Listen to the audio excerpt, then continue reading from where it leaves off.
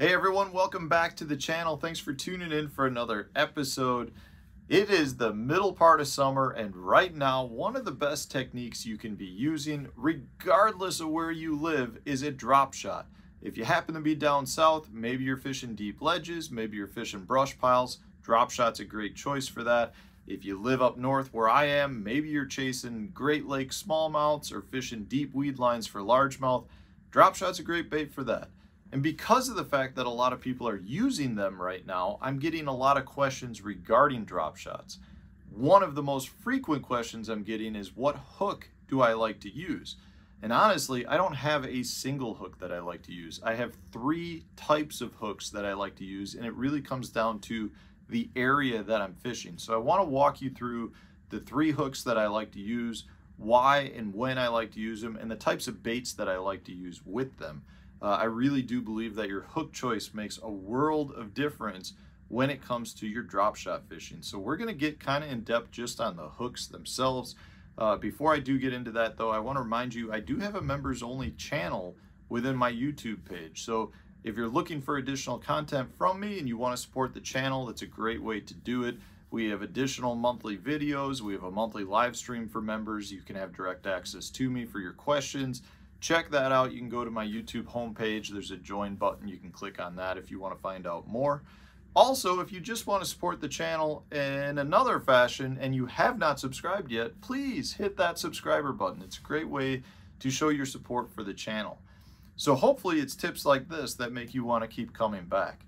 So I get a lot of questions regarding the hooks. And I think most people out there feel like there's, you know, a primary hook. I mean, we've got a specific hook named after the drop shot technique, and that's just the drop shot hook. Uh, it's just a small little hook like this guy right here. It just kind of hooks back, and it's ideal for most drop shot baits. So if you like throwing a Berkley Max Scent flatworm, maybe you like throwing uh, little minnow style baits, any of your little straight-tailed drop shot baits are going to be ideal for this hook. You know, this really comes down to uh, when you're nose hooking a bait, you're going to get the most action out of it. You know, you get your bait to, to swing freely. And a lot of the time you're talking about baits that are only going to be a couple inches long, right? So if you were to put a bigger hook on this, what's going to happen is you're going to take away a lot of the action of your bait. One of the keys with the drop shot is to move your bait generally less than you would think. So a lot of times you just got to hold your rod there and what you're doing is you're letting the, the motion of the water almost just take the worm and just move it around and that's what generates a lot of your strikes. If you overwork it, meaning you sit there shaking it, a lot of times that that's too much movement and it actually works as a detriment. So this is by far one of my favorite style of hooks because a lot of times I am throwing very small baits. Now I want to point something out here. I would argue that you will get significantly more bites by dropping down in your hook size. I never go bigger than a size 2 drop shot hook. Generally speaking, it's a size 4 or a size 2. Those are the two sizes that I love to use.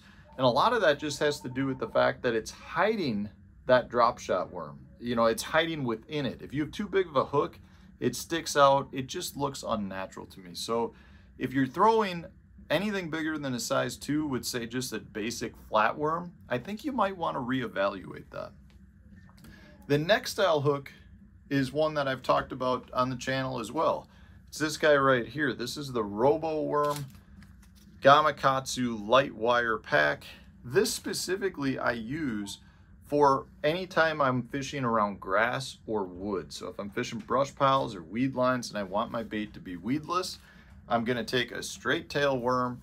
You can, it's got a good bait keeper on it, as you can see, and that's gonna keep your worm up.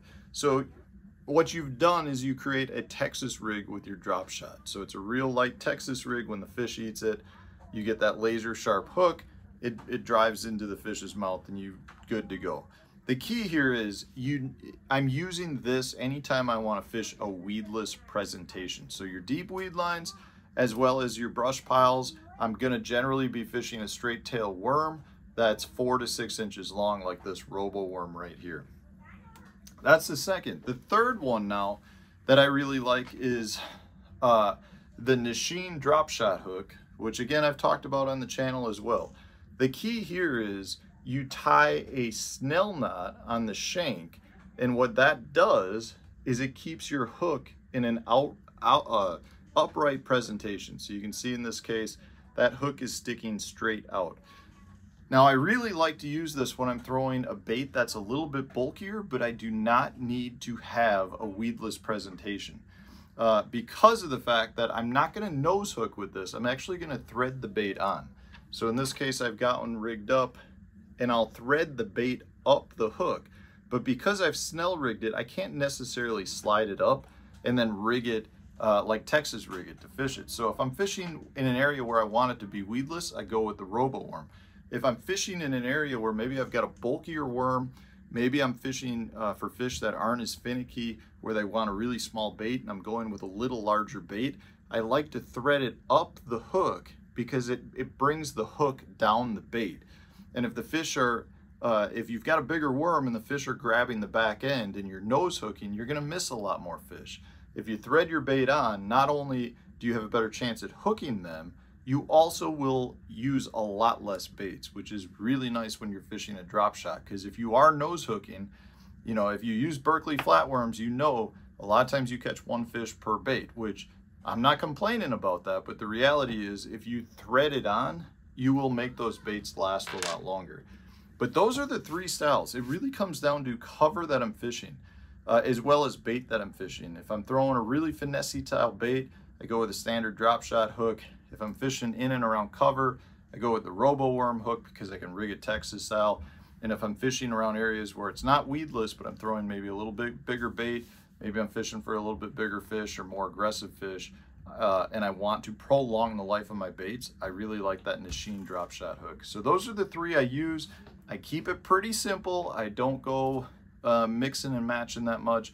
And generally speaking, guys, use the smallest hook that you can get away with. You will get more bites. And because 90% of the time you're fishing this on really uh, light finessey tackle, in my case, I use the MHX NSJ 871 rod. So it's a 7.3 medium light fast action rod. Six pound test, eight pound test to a 10 pound braid mean, uh, leader line. I'm not putting a, a ton of pressure on these fish. So your small little hooks will work just fine. That's what I use. Hopefully this answers the pile of questions I got regarding hook choices. Let me know in the comments section. Let the other viewers know as well. Do you like these hooks? Do you not like these hooks? Do you have other hooks that you really like to use uh, that I didn't mention? Share that with the viewers so that they know from you guys that the hooks work as well. Thanks for watching, guys. Stay tuned. We'll have a new tip video coming out tomorrow.